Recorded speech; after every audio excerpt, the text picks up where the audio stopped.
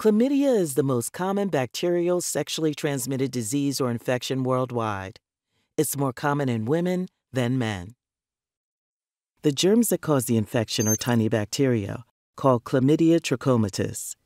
You can catch chlamydia from an infected person during vaginal, anal, or oral sex. And if a pregnant woman has chlamydia, she can pass it to her baby as the baby moves through the birth canal during childbirth. In your body, the infection begins when the bacteria attach to cells in the tissue that lines many of your body cavities, called mucosal epithelium. Once attached, the bacteria begin to invade this tissue. Inside the cell, the bacteria start multiplying. When they escape to infect other cells, the bacteria may leave the cell they came from intact or the cell may be destroyed as the bacteria are released. The bacterial infection causes the body's own immune cells to enter the tissue. This inflames and damages the tissue as your immune cells try to clear the infection. Unfortunately, some of the bacteria can avoid immune destruction inside of your cells.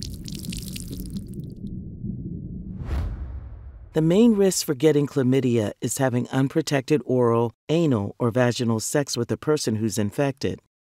You may have a high risk if you are sexually active and are a young person, especially a young woman.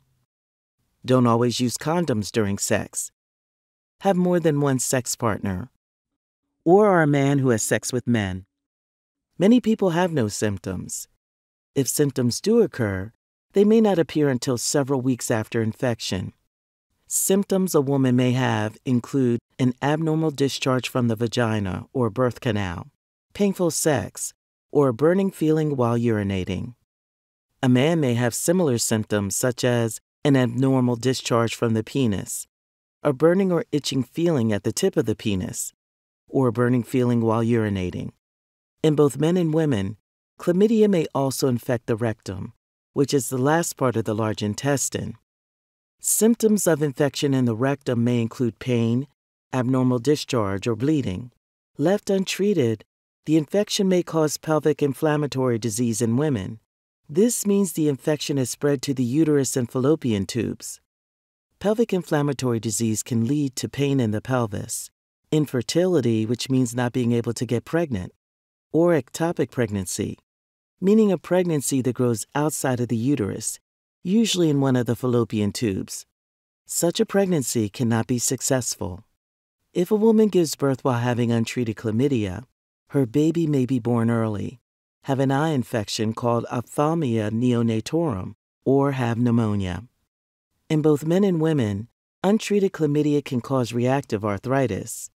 This is painful swelling in joints as a reaction to the infection. The good news is that chlamydia can be cured with antibiotics, such as doxycycline or azithromycin. You may also be prescribed a second antibiotic, such as ceftriaxone, to treat possible infection with another sexually transmitted disease called gonorrhea. People who have chlamydia are often infected with gonorrhea at the same time. It's important to know that treatment may not fix any damage the disease has already done to your body. You can reduce your risk of getting chlamydia if you only have sex with one long term partner who doesn't have sex with other people, and who has been tested for chlamydia and doesn't have it. And you can practice safer sex, which means taking steps before and during sex to prevent you from getting or spreading chlamydia.